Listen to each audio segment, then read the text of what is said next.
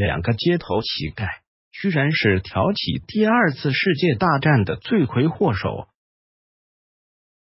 咱们中国有首诗，说的是“朝为田舍郎，暮登天子堂。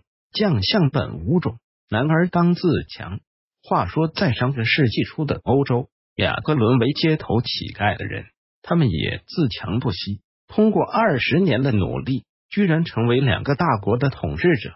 不过，这两人比较反面，他们挑起了第二次世界大战，这到底是怎么一回事呢？这两位人物，许多人都知道，他们分别是纳粹德国元首阿道夫·希特勒、意大利首相本尼托·墨索里尼。但是对于两人早年的事迹，人们知之甚少，特别是两人曾将贫困潦倒，到了街头流浪讨饭的地步。那么，俩人早年到底经历过哪些事情呢？按照讨饭的先后顺序，咱们先说墨索里尼。墨索里尼出生在意大利东北部的一个小山村，家里并不富裕。墨索里尼小时候上教会学校时，因桀骜不驯被开除，后来上了师范学校，毕业后当过一段时间的小学教员。一九零二年，墨索里尼年仅十九岁，血气方刚，自然不甘心做孩子王，于是他想闯出一番事业，于是离开意大利。来到了瑞，结果到了瑞士后，未来的意大利首相就成了街头流浪汉。为了糊口，墨索里尼做过建筑工，每天工作十二个小时，在工地上搬砖。他还做过屠夫、送货员。但即使这样，墨索里尼依然不得不忍饥挨饿。有一次，他居然在公园抢劫了正在进行野餐人的食物。墨索里尼后来发达了，曾下过回忆录。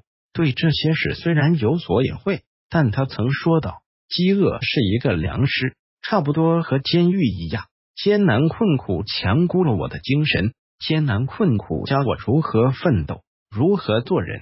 虽然生活很艰苦，但墨索里尼一直在学习。他在洛桑大学旁听课程，向许多人请教。据说他还见过列宁。”墨索里尼在瑞士积极参加政治集会，发表演说，后来居然成为侨居瑞士的意大利社会党人的领导人。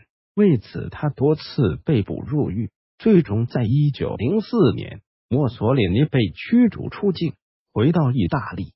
后来，他当过兵，参加过一战，办过报纸，利用自己的宣传鼓动能力，组建法西斯党。于一九二二年成为意大利首相。再说说希特勒，他其实是奥地利人，家庭状况也比墨索里尼要好。他的父亲是海关的职员。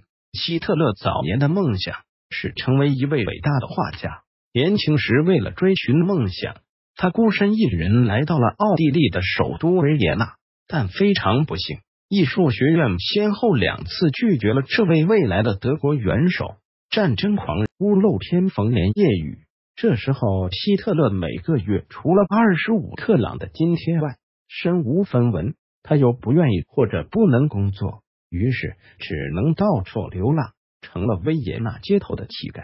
他睡过公园的长椅，下雨天就跑到拱桥下面躲避。后来还住过收容所。希特勒比较诚实，他在我的奋斗中曾写道：“一想到那么可怜的我。”那些避难所和栖身地，那些龌龊、恶臭的可怕情景，我就全身发抖。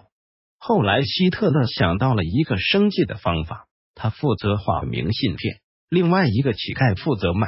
两人的合作很快，然后给他们摆脱了街头流浪的局面。后来，希特勒加入德国军队，参加一战，又因工作接触纳粹党的前身，让他一步步崛起。后来成了德国总理。德国元首与墨索里尼一道挑起了第二次世界大战。参考资料：一、从乞丐到元首；二、墨索里尼传；三、我的自传《墨索里尼》；四、我的奋斗。